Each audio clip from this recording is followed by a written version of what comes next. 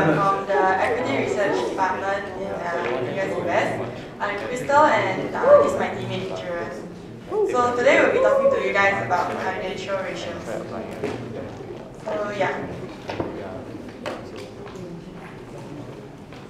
Alright, so the first thing about financial ratios is um, it's part of uh, something called fundamental analysis, which is something you do when you analyze like uh, stocks. And there are six uh, segments to fundamental analysis. First being at economy level, you need to look at um, the situation in the economy, recent news, and things like that. And um, then after that, you look at the industry and the sub-industry and the condition of each of these um, elements. And then you move on to the financial ratio screening. So after financial ratio screening, you actually pick a stock and then you move on to your business model management analysis, your valuation and timing of your buy or sell. So now we move on to the first ratios. The first ratios that we'll be covering is price ratios. The first one is uh, price to earnings ratio or PE ratio for short. So to derive PE ratio, right, it's actually just price per share divided by earnings per share. Of course, everything has to be the latest figure. And the second ratio is uh, earnings per share, or EPS for short, and it is uh, earnings attributable to shareholders minus preference share dividend over weighted average number of shares. So what do these uh, ratios tell us? Firstly, historical PE shows us that assuming the latest earning continues, how many years it takes the business to earn back your initial investment amount. And comparing to industry peers, a higher PE ratio would mean a higher future earning expectation. So higher PE ratio means better. However, higher PE ratio uh, companies' stock price may also face something called a double whammy when bad news surface. So what does this mean?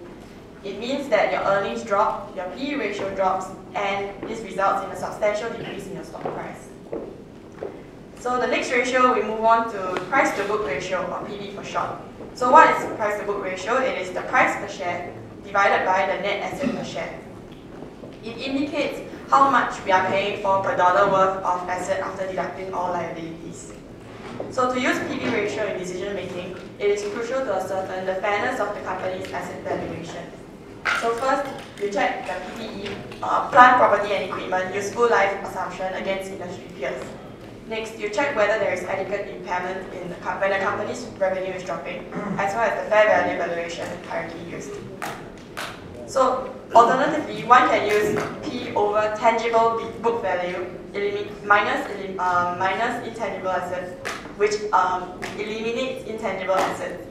Um, when a PB, PB, when the PB ratio is less than one, it indicates uh, further impairment of assets will occur, which is a lower expectation of future earnings.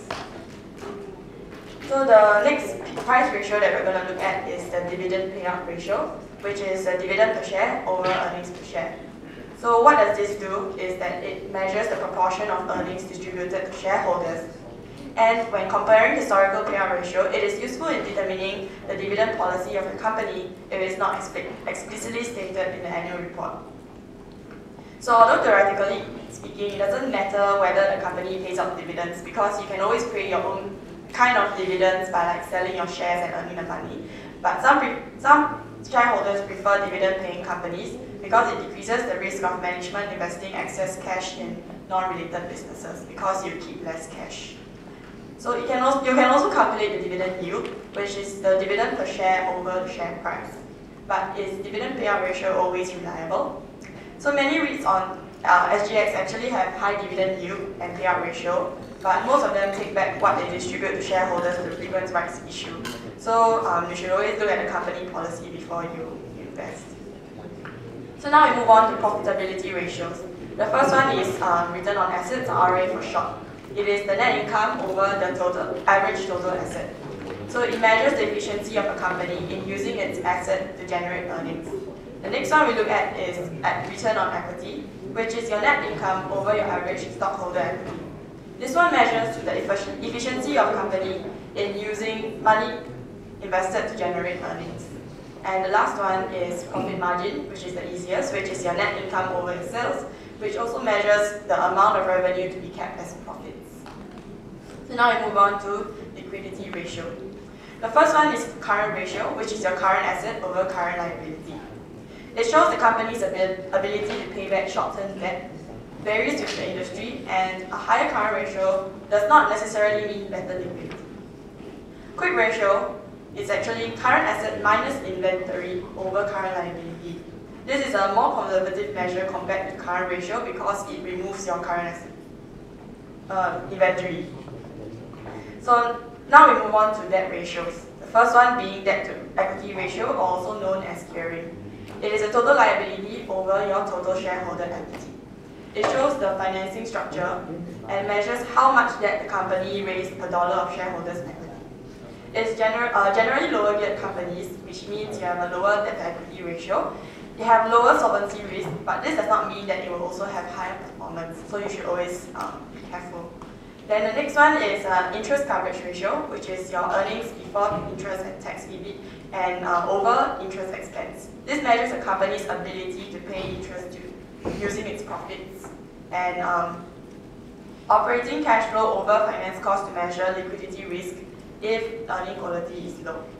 For companies with large financial leases, fixed charge coverage ratio, EBIT, finance cost plus finance lease obligation over finance cost and lease obligation is more suitable. So um, one thing to one thing to ask is can we one thing to ask is can we only rely on price ratios? So there's a study carried out by Teh Hooi Ling uh, Executive Director of Aggregate Asset Management, to find out what if investors buy 10% of all stocks listed on SGX with only the lowest PE or price to equity, uh, price to earnings or PB, price to book value ratio.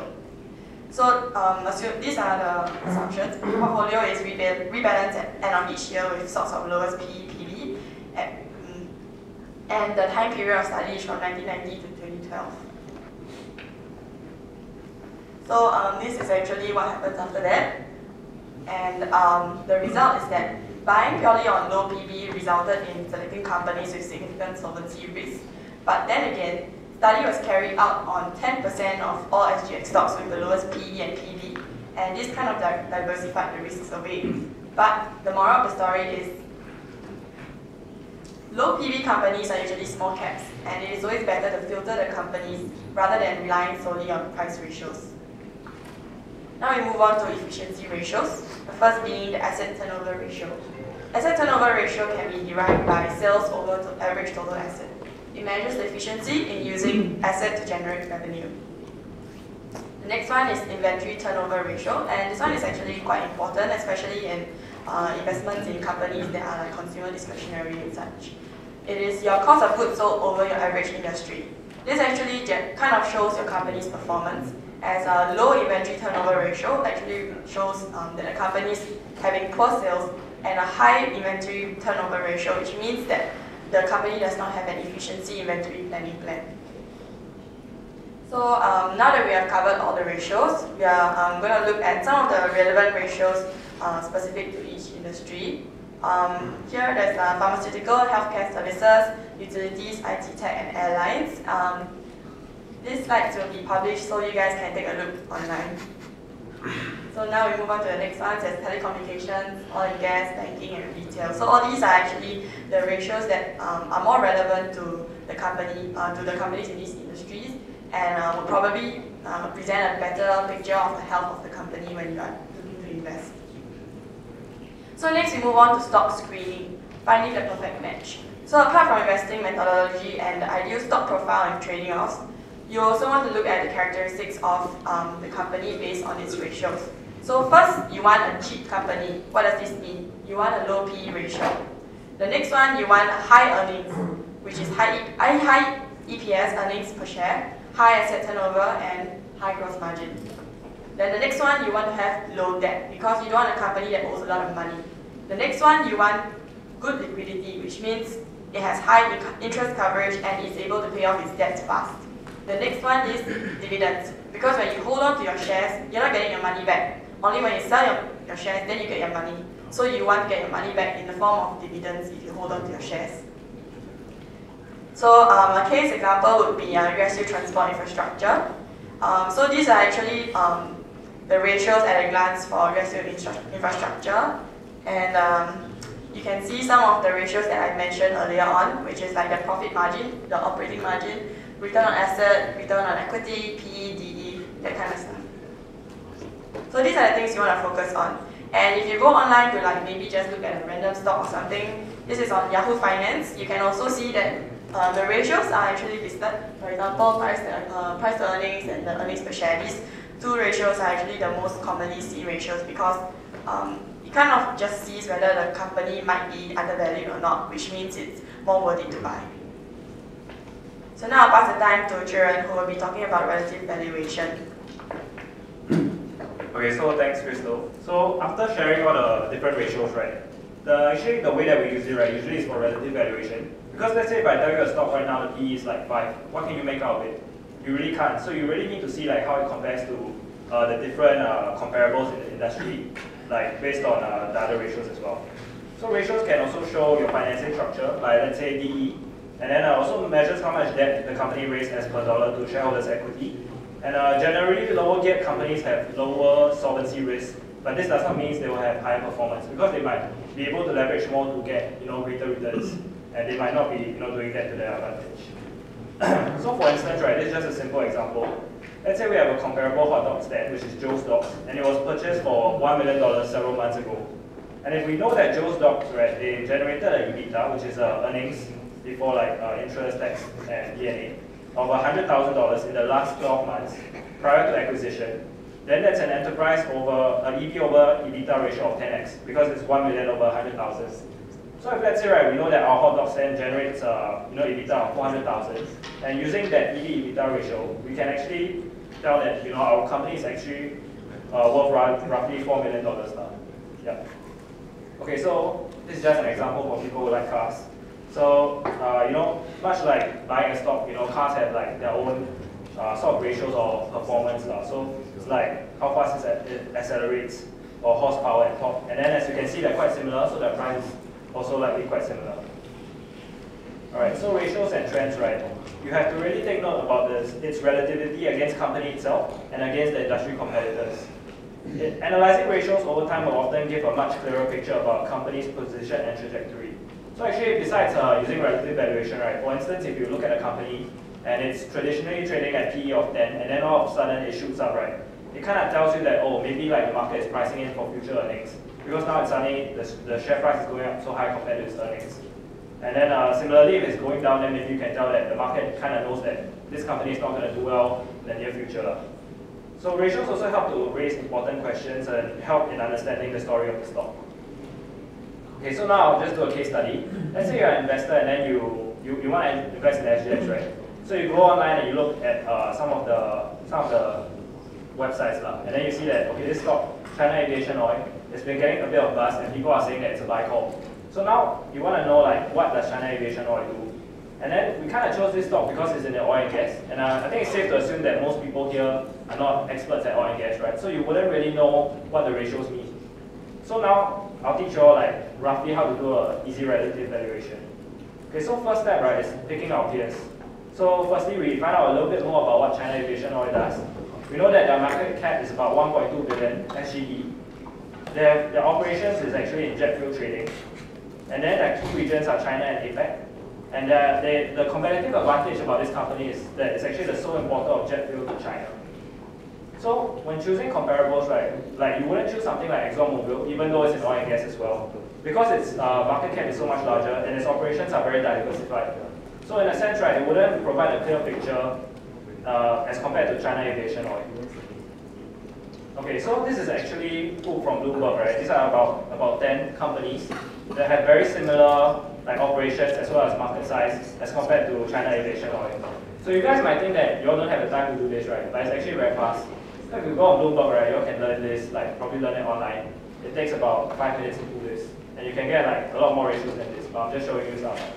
So Bloomberg, right, will auto-generate an algorithm that helps you find companies of similar size and operations that, uh, and then after it will generate all the ratios for you. So the first step in doing this, right, is actually, okay, so as you can see, right, the average P is about 22 times, and the EV to EBITDA is about 12 times. So as compared to China Aviation Oil, right, it's a bit undervalued. But uh, in this case, right, I would actually like to point your attention to this company called CrossAmerica Partner. Which is right below China Aviation Oil. As you all can see, right, PE and EV EBITDA right, is very, very high. So it's actually an outlier.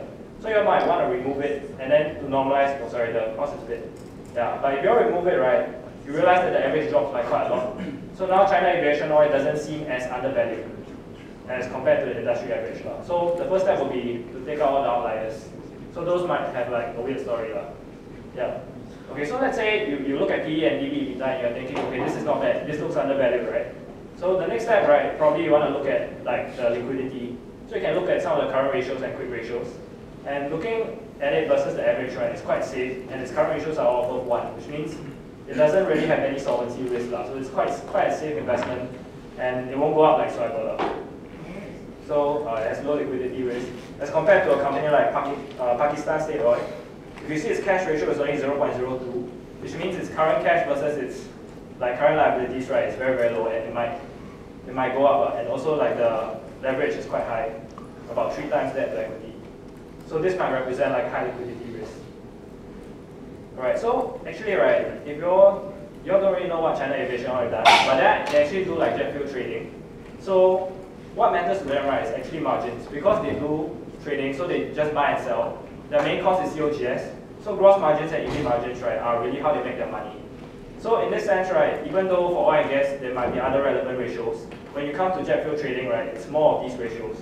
So when we look at it, right, we can actually see that China Aviation Oil is not doing that well as compared to the market, and that might be why its PE is low. So now, right, given that there's sort of a red flag to investment, but you should also understand that these uh, these ratios, right, they are usually calculated uh, either trailing 12 months or last 12 months, like based on their last AR. So it might not be that accurate because it might be almost like 9 months or 10 months ago. Alright, so actually, right, uh, all these numbers, right, I put it's accurate as of December. Uh, actually, China Aviation Oil is not bad. And then it actually went up 14% since, because uh, I was doing a stock option, so I used this company, yeah. Okay, so actually the preliminary takeaways, right, just after looking at relative valuation, is that it might seem undervalued as compared to industry just based on PE and EV-EBITDA ratios. And China Aviation Oil is operating at healthy leverage and liquidity ratios, so there isn't really a solvency risk. And then uh, actually if you take a look at their company, right, because after their AR, right, they actually released three quarters of financial results. So the next result set to release is the fourth quarter, which will be into their AR. So actually their margins, right, year on year have been increasing about two times. So that might actually, you know, be a signal that the company might be gonna, as in the share price might go up very soon. And then the market uh, has kind of priced in a bit in anticipation of the earnings release, which is why the, the share price has been going up uh, recently. As you can see, like from the line to now, it's about 14% increase. Okay, so the limitations of relative valuation, right, is very simple. Basically, no two companies are the same. So as you look, even like when you consider something like the hot dog stand example, right, it's actually, you know, you can't really say that the two, the two companies are the same, even though they both sell hot dogs. Because one might have a better positioning, one might have like more fixed customers, one might be like in China, one might be in US. So even for something as simple as hot dogs, right, you can see that there are so many differences. And you think about a company like a jet fuel trading company, there will be like a million differences. So even though it's like they're about the same, they're not really the same. So there are many differences between the companies. Uh. So they only give you a gauge, but not an exact figure. And then also ratios are snapshot, as I mentioned. Uh, a lot of the figures are calculated based on like uh, like last annual report, or maybe some are trading 12 months. So it's just a snapshot and sometimes it's a bit past and it may not be indicative of the future. And then also if you look at forward ratios, right, they're all analyst estimates, so they're not fixed. Like, even though the forward ratios may look good, right, they might not, the company may not, may not perform to hit those uh, estimates. And then also, right, ratios are not usually catalysts for rebounds. That means, for instance, if you see a low PE, let's say even it's three times, right, it doesn't mean the company share price will go up anytime soon. Usually it needs a more solid reason, like maybe it signs a big contract with another company for the company to for the share price to go up. So like a low ratio does not mean that it's going to go up anytime soon. It just shows that the company might be undervalued. But how long the market takes to correct it might be like undetermined. Cannot determine based on the ratios. And so our final conclusions is that actually financial ratios are very useful throughout different stages of fundamental analysis.